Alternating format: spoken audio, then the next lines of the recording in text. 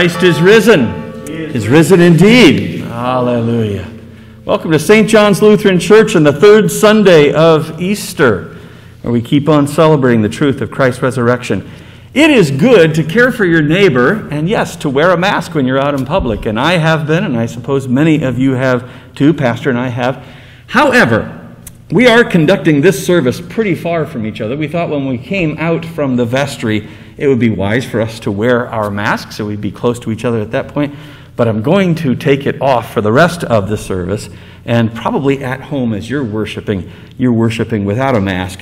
But uh, I would recommend that you use it out at, uh, in the public. It is good uh, care for your neighbor. You're protecting others. Welcome to worship today. Kids who are watching this with your families, a little bit later, we're going to have a children's sermon down at the font, and I have another Bible passage for you to be looking up ahead of time. So go get a Bible. Maybe you already learned that from a couple of weeks ago.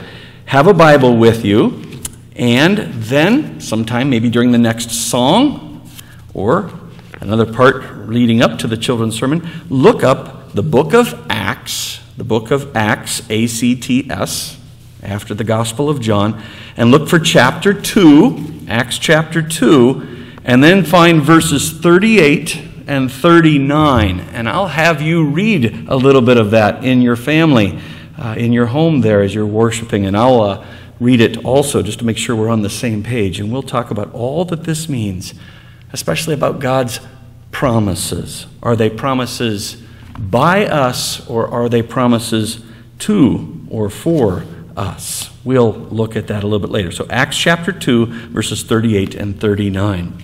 Welcome in the name of our Lord. We continue worship with How Good It Is from Psalm 133.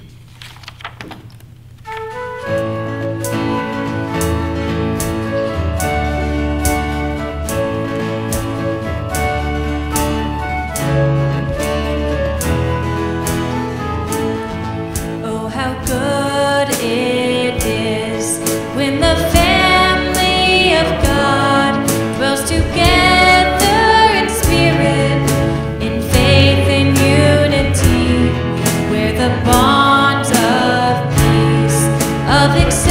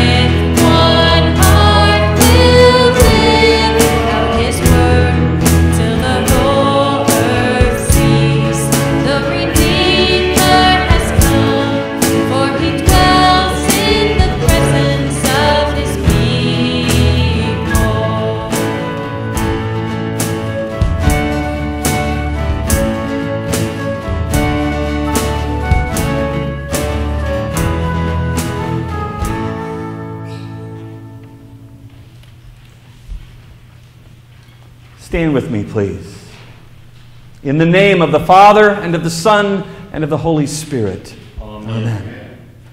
Christ, being raised from the dead, will never die again. Death no longer has dominion over him. Christ has risen from the dead. Alleluia. God the Father has crowned him with glory and honor. He has given him dominion over the works of his hands. He has put all things under his feet. Alleluia, alleluia.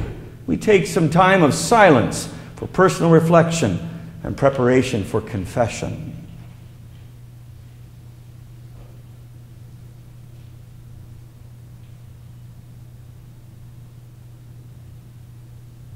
Let us confess our sin to God, our merciful Father. Almighty God, Father of our Lord Jesus Christ, our Creator and Preserver, we admit and confess our sinfulness. We are stained by sin from our very beginnings. We have sinned again and again in thought, word, and deed. We have not loved our neighbors as ourselves and have turned away from one another in our thinking, speaking, and doing. We have done the evil you forbid and have not done the good you demand. We do repent and are truly sorry for all our many sins. Have mercy on us, gracious Father. Forgive us all that is past, and by the power of the Holy Spirit, direct our lives so that we serve you in true faithfulness. Grant us victory over all that oppresses us and build your kingdom among us here through Jesus Christ our Lord. Sisters and brothers in Christ, in his boundless mercy, God has promised forgiveness of sins to those who repent and turn to him for restoration and renewal. Therefore, as a called and ordained servant of Christ, I forgive you all your sins in the name of the Father, and of the Son, and of the Holy Spirit. God keep you in his grace by the Holy Spirit and grant you a life on earth in which you tell of his greatness through Jesus Christ our Lord. Amen. The Lord be with you. And also with you. Let us pray. O God, through the humiliation of your Son, you raised up the fallen world.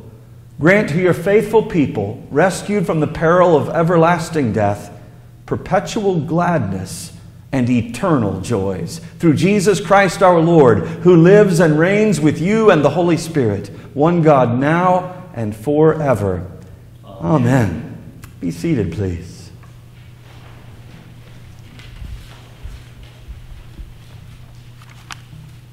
The third Sunday of Easter. And the first reading is from Acts chapter 2, a part of Peter's Pentecost sermon. God's word does its work and bears fruit, as we see. Peter, standing with the eleven, lifted up his voice and addressed them. Let all the house of Israel therefore know for certain that God has made him, Jesus, both Lord and Christ, this Jesus whom you crucified. Now, when they heard this, they were cut to the heart and said to Peter and the rest of the apostles, Brothers, what shall we do? And Peter said to them, Repent and be baptized, every one of you, in the name of Jesus Christ for the forgiveness of your sins, and you will receive the gift of the Holy Spirit.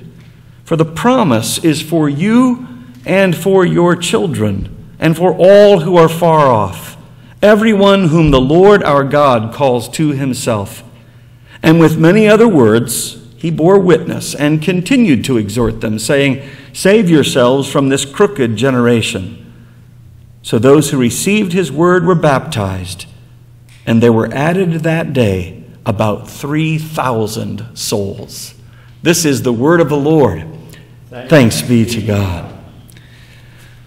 Well, kids, I don't know if you need to uh, come any closer to the TV or the computer is, wherever you're watching this at home. But I do want you to kind of come closer in mind and in heart, and we'll have a children's sermon today here at the baptismal font. But before we talk about what's in there, and before we open up that Bible passage that I had you uh, look up, I want to ask you about promises. Promises. Do you ever make promises? What kind of promises do you make? I mean, can you name some right now? I know I'm not going to be able to hear you, but maybe you could tell mom or dad or your brother or sister some of the promises that come to mind. Here's one that I think of that kids sometimes promise, and they should promise, and that is um, I promise I will share. And that's hard, isn't it? You ever make that promise? I promise that I will share it. Something that I like, something that uh, uh, somebody else likes. I promise I'll share. Can you take a moment to think about are there some other promises that you make? Maybe you're thinking about that. Maybe you're telling people at home right now about some promises like, I promise I will make my bed. I promise I will do my homework. I promise I will help around the house. I promise. And not only kids make promises, but adults, pastors, and parents make promises too. Promises that we're supposed to keep, right? Promises are made by us a lot, and we need to keep them. But were you listening to that Bible passage? I want you to open it up. Go to Acts chapter 2, Acts chapter 2, and find verse 38. St. Peter was preaching on the day of Pentecost, and while he was preaching God's word out of Peter's mouth, it showed people who Jesus is. It also showed them their sins, and people, they wanted to do the right thing, but most of all, they wanted to be forgiven and be right with God. And so they asked, What should we do after we've heard God's word? Did you find Acts chapter 2, verse 38? I'm going to read verse 38, and then I'm going to ask you to read verse 39. If you're a reader, you read verse 39 out loud, and then afterward, I'll read it also to see if we got the right one. Verse 38 said, Peter replied, Repent and be baptized, every one of you, in the name of Jesus Christ for the forgiveness of your sins, and you will receive the gift of the Holy Spirit. Now, you take a moment, somebody in your family, read verse 39, starting with the promise.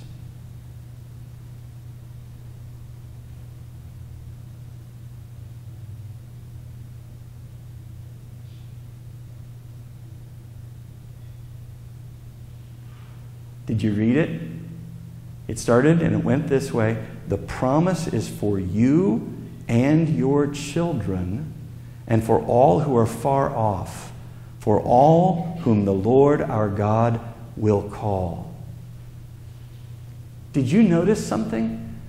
That didn't say that we make a promise, it says God makes a promise.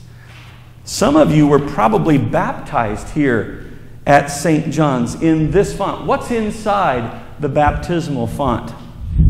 That's right, water is in the font, right? And I put water in here, even though we don't have a baptism today. I wanted you to see that the same font where you were baptized, or maybe you were baptized in another church, it has water in it.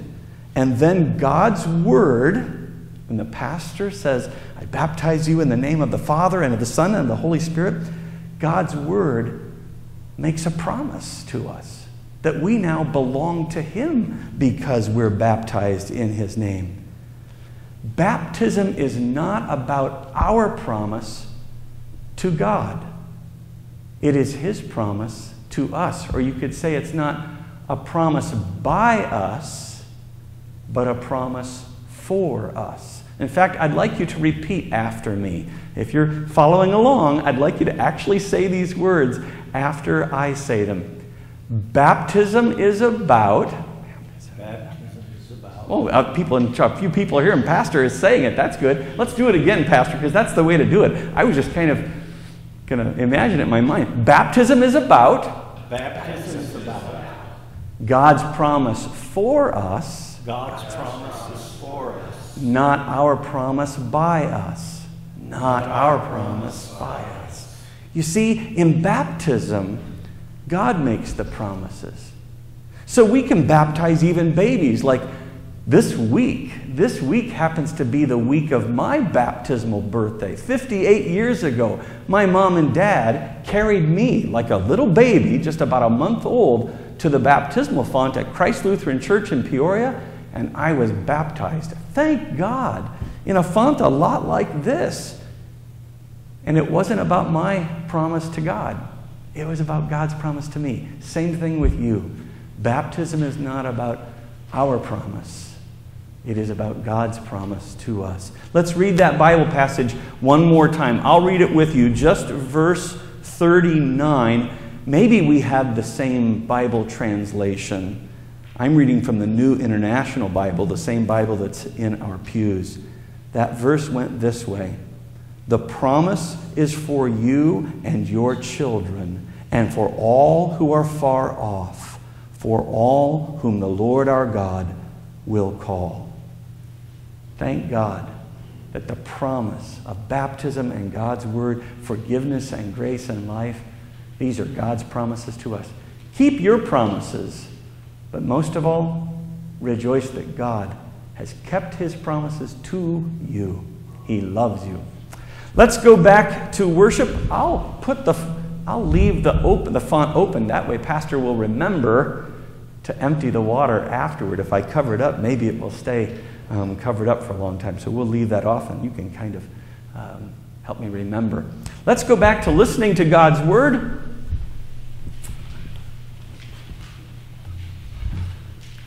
The epistle lesson today is from the same man, the same disciple, apostle, Saint Peter, who preached that Pentecost sermon. His first epistle, chapter 1. If you call on him as Father, who judges impartially according to each one's deeds, conduct yourselves with fear throughout the time of your exile knowing that you were ransomed from the futile ways inherited from your forefathers, not with perishable things, such as silver or gold, but with the precious blood of Christ, like that of a lamb, without blemish or spot. He was foreknown before the foundation of the world, but was made manifest in the last times for your sake, who, through him, are believers in God who raised him from the dead and gave him glory, so that your faith and hope are in God.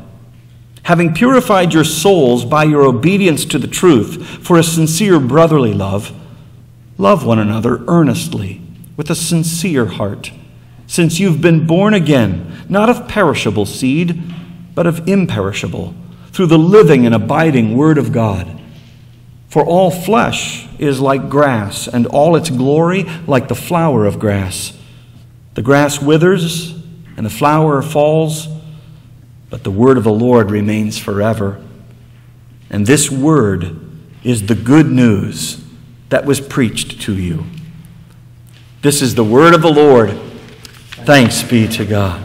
The song 10,000 Reasons, which is from Psalm 103.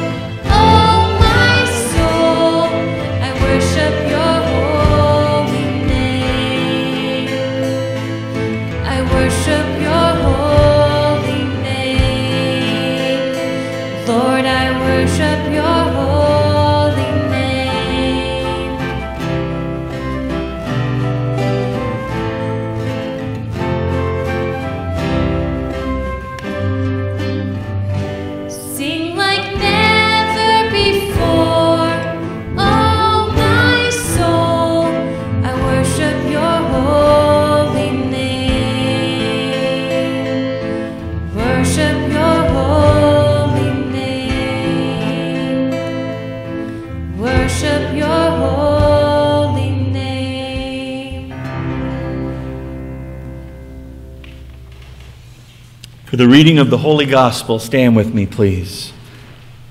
The Holy Gospel according to St. Luke, the 24th chapter. Glory to you, O Lord. That very day, two disciples were going to a village named Emmaus, about seven miles from Jerusalem, and they were talking with each other about all these things that had happened. While they were talking and discussing together, Jesus himself drew near and went with them. But their eyes were kept from recognizing him. And he went to them. He said to them, What is this conversation that you are holding with each other as you walk? And they stood still, looking sad. Then one of them, named Cleopas, answered, answered him, are you the only visitor to Jerusalem who does not know the things that have happened there in these days? And Jesus said to them, What things? And they said to him, Concerning Jesus of Nazareth, a man who was a prophet, mighty in deed and word before God and all the people, and how our chief priests and rulers delivered him up to be condemned to death and crucified him. But we had hoped that he was the one to redeem Israel. Yes, and besides all this, it is now the third day since these things happened. Moreover, some women of our company amazed us. They were at the tomb early in the morning, and when they did not find his body, they came back saying that they had even seen a vision of angels who said that he was alive. Some of those who were with us went to the tomb and found it just as the women had said, but him they did not see. And Jesus said to them, O foolish ones, and slow of heart to believe all that the prophets have, have spoken, was it not necessary that the Christ should suffer these things and enter his glory? And beginning with Moses and all the prophets, he interpreted to them in all the scriptures the things concerning himself. So they drew near to the village to which they were going. He acted as if he were going farther, but they urged Jesus to strongly, saying, Stay with us, for it is toward evening, and the day is now far spent. So he went in to stay with them. When he was at the table with them, he took the bread and blessed it, and broke it and gave it to them. And their eyes were opened, and they recognized him. And he vanished from their sight. They said to each other, Did not our hearts burn within us when he talked to us on the road, while he opened to us the scriptures? And they rose that same hour and returned to Jerusalem. And they found the eleven and those who were with them gathered together, saying, The Lord has risen indeed and has appeared to Simon. Then they told what had happened on the road and how he was known to them in the breaking of the bread. This is the gospel of the Lord. Praise to you, O Christ. Be seated to sing, Christ is our hope in life and in death.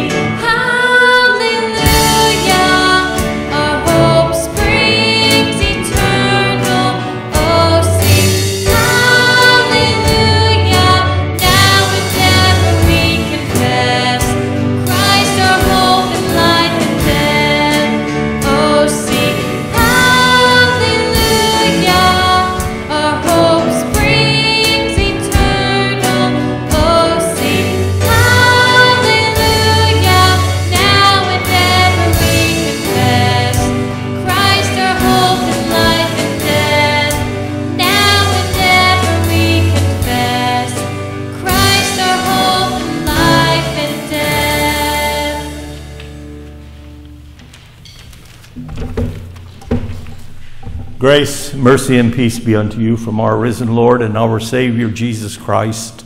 And may his Spirit open up our hearts and minds to his word. Amen. Our text for this evening is found in Luke chapter 19, verses 9 and 10. Jesus said, Today salvation has come to this house, since he also is a son of Abraham.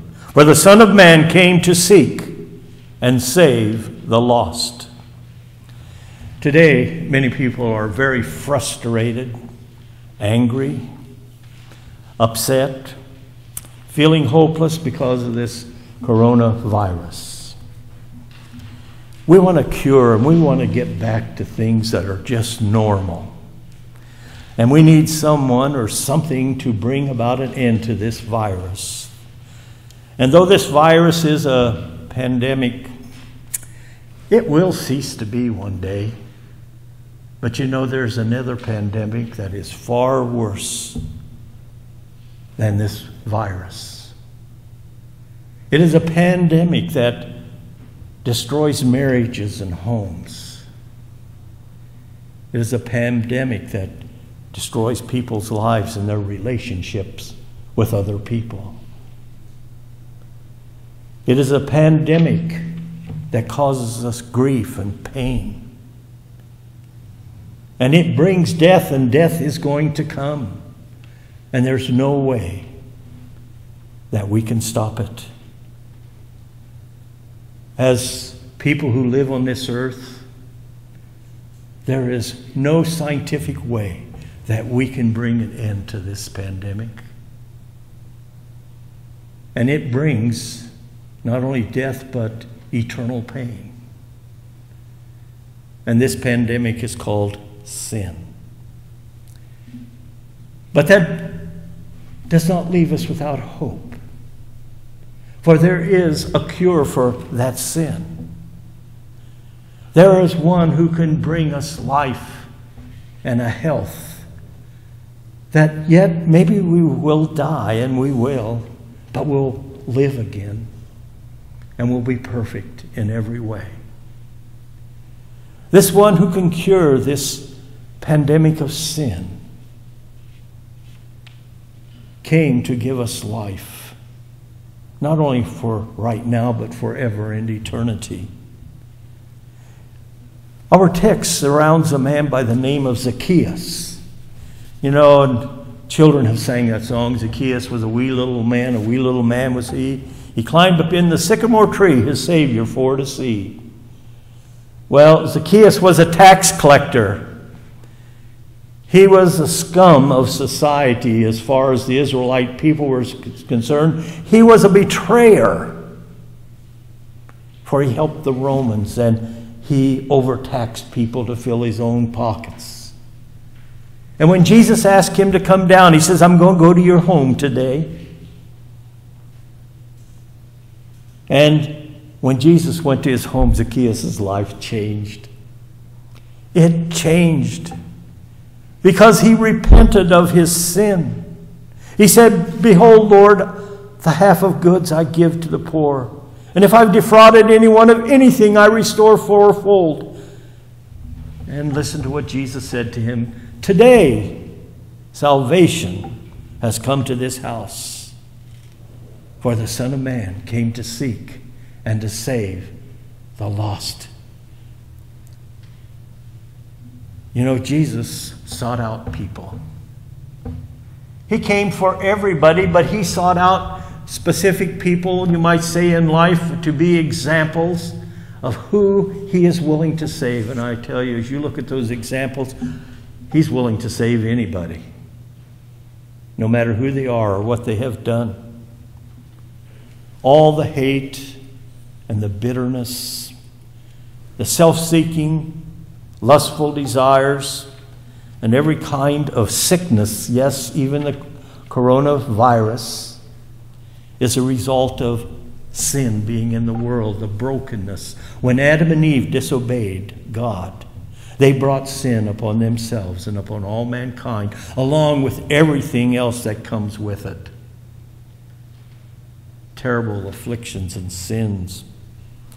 And Jesus, the Son of God, God Himself, who uh, did not want any of us to die eternally.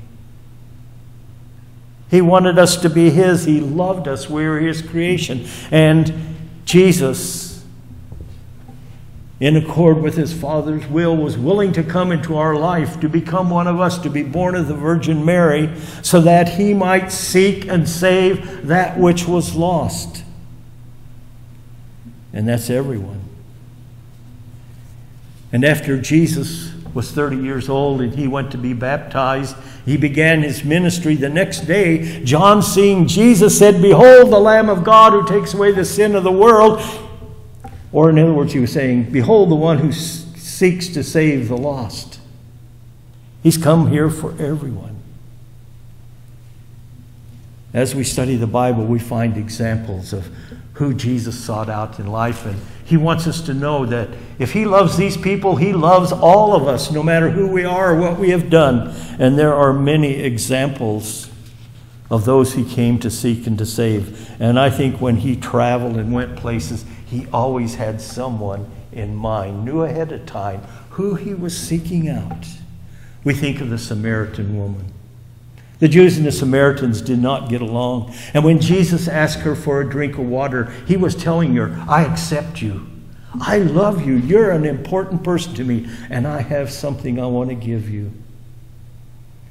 And as they talked, they got to the point where Jesus confronted her with her sins.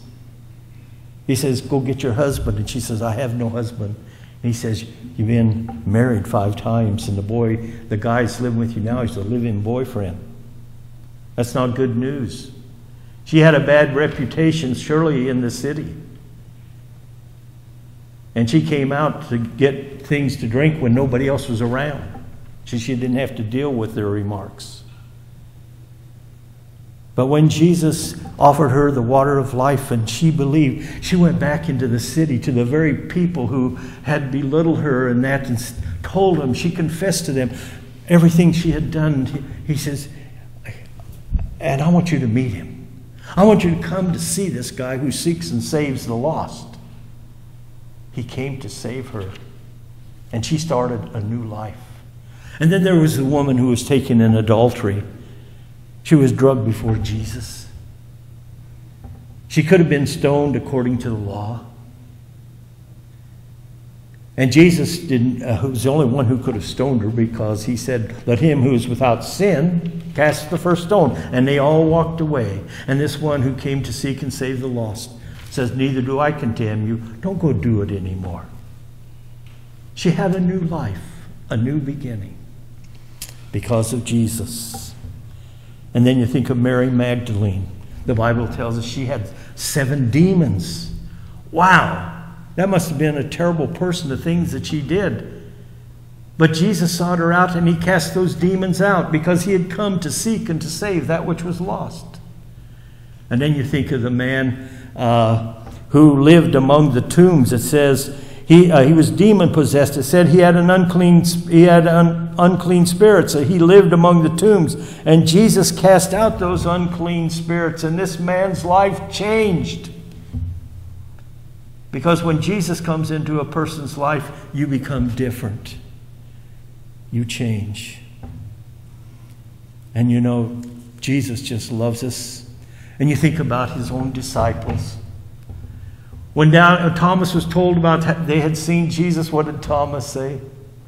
I'm not going to believe you until I touch those wounds and I see him. And Jesus, when he come to him, didn't chew him out. But he showed himself to Jesus, Thomas because he'd come to seek and to save lost. He came to rescue him. And Thomas says, My Lord and my God.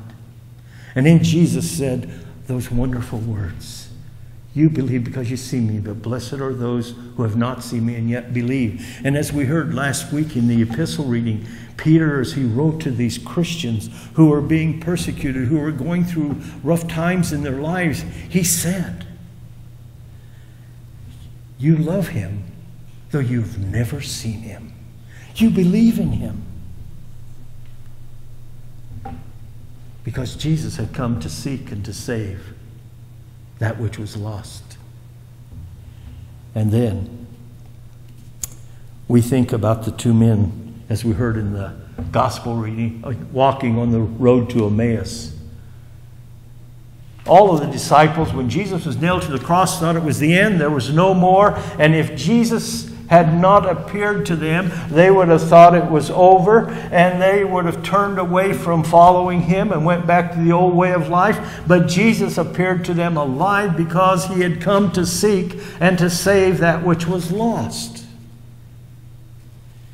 He wanted them to know that He was there for them, that He came for them. And one of the greatest examples of him seeking to save the lost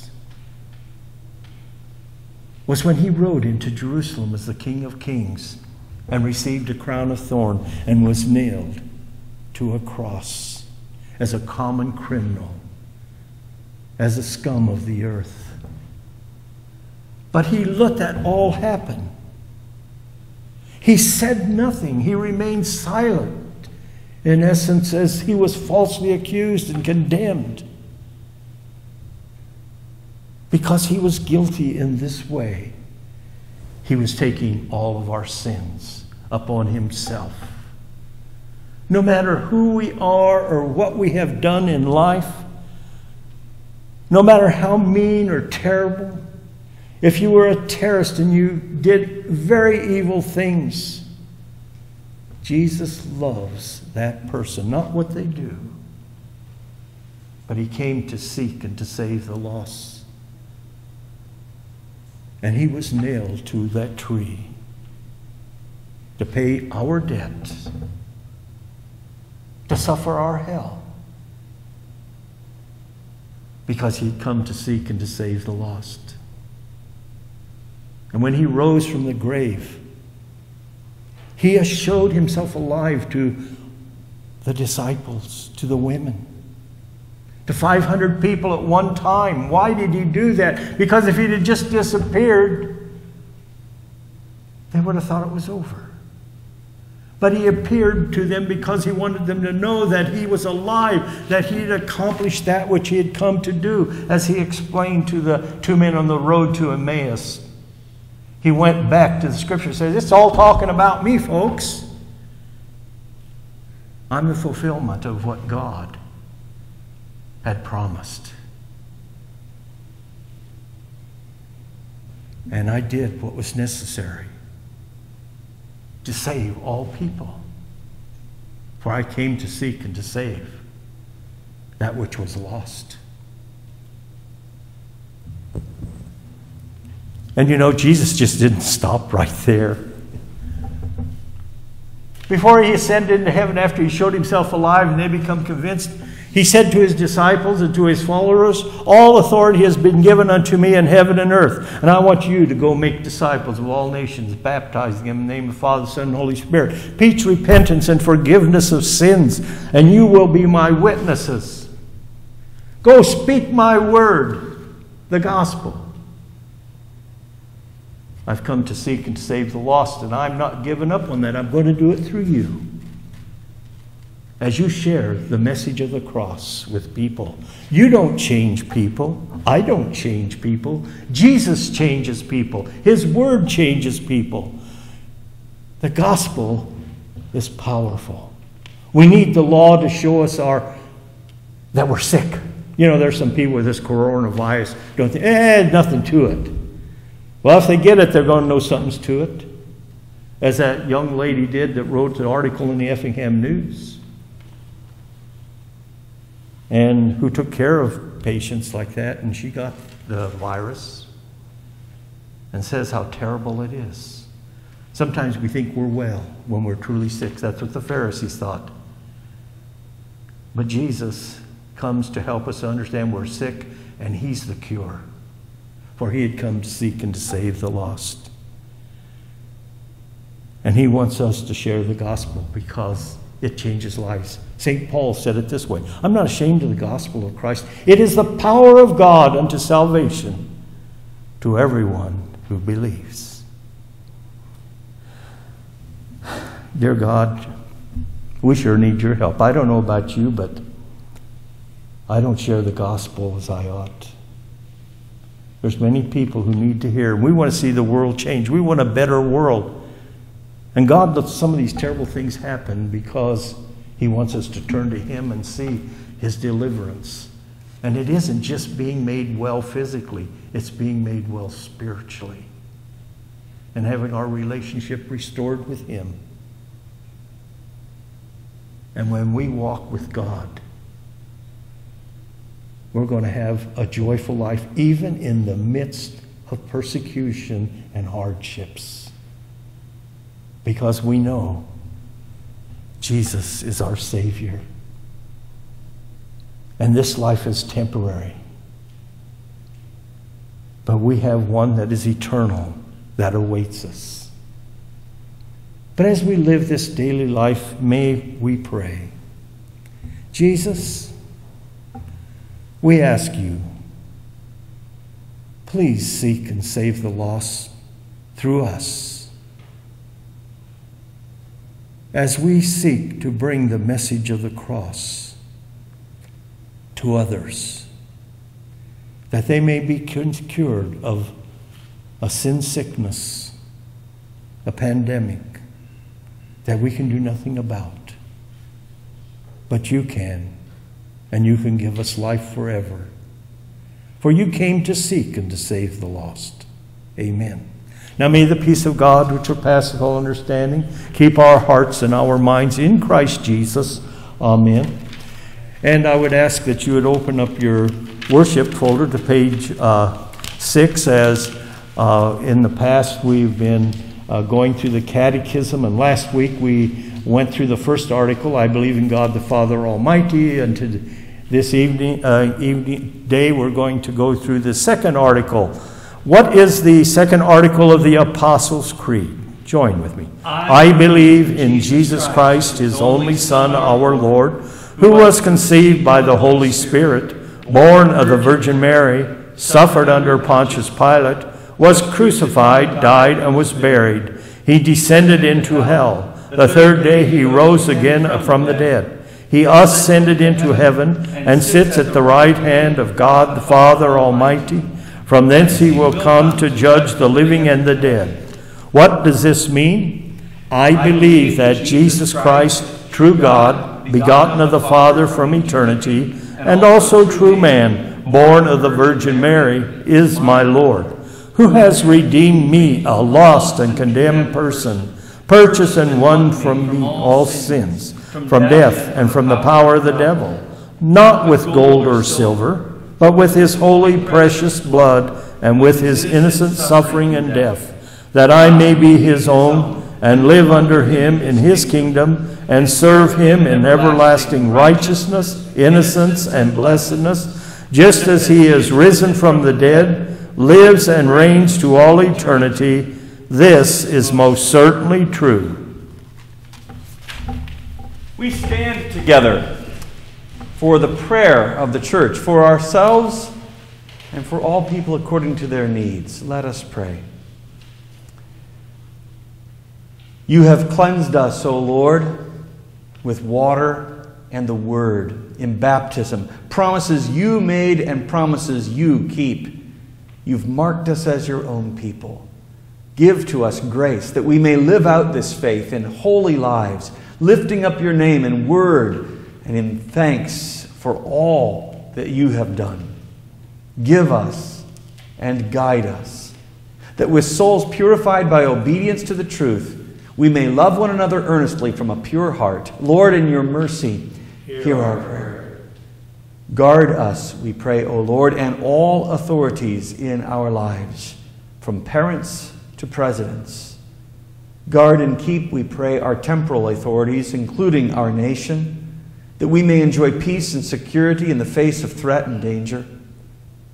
Bless, we pray, Donald, our President, and the Congress of the United States.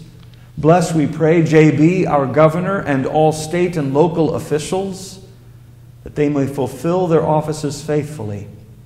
Bless all emergency and medical workers, and all of the members of our armed forces and their families who protect and sacrifice. And we pray that you would teach the nations the ways of peace. Lord, in your mercy, hear our prayer. Deliver us from all of our afflictions in your time and way, and grant us strength to bear all burdens. Hear us in particular as we pray for Bill Draper and Dick Hulscutter, Connie Phelps and Janet Martins, for Austin Miller, for Mary Wolfmeyer and Kathy Coates, for the Urbanic family, for Zach Fritcher and Gerald Pontius, for Lori Mayberry and Janet Brinkoff, Julie Scott and Jan Pike, Rochelle Allward and Pastor Ted Gall, for Colin Kinkler, and for all these whom we name in silence.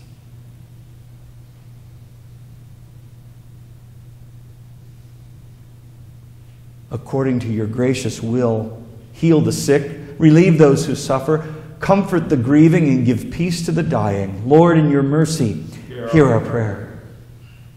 We pray, O Lord, for our nearest neighbors, that we would reach out to them with love and sacrifice and the good news of Jesus Christ, who came to seek and to save. Lord, in your mercy, hear our prayer. We pray for our confirmands of our congregation as they are preparing to stand and make the good confession. We pray for McKenna, Andrew, Evan, Katie, Kylie, Camille, Elena, AJ, Sophia, Aiden, and for their parents. Lord, in your mercy, hear our prayer. And for all of our seminary students, including the seminary student we have supported this year, Mr. Mike Stein, who are receiving their calls into the pastoral office this week. Strengthen, bless, and use them according to your will and time. Lord, in your mercy, hear our prayer. Accept, O Lord, this sacrifice of praise and thanksgiving that we bring to you for all of your goodness and generosity.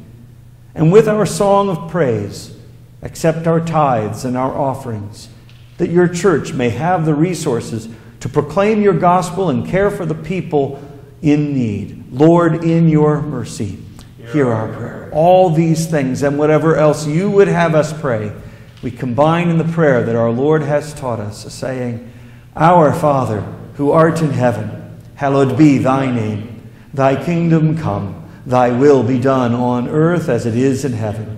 Give us this day our daily bread, and forgive us our trespasses as we forgive those who trespass against us. And lead us not into temptation, but deliver us from evil. For thine is the kingdom, and the power, and the glory, forever and ever. Amen.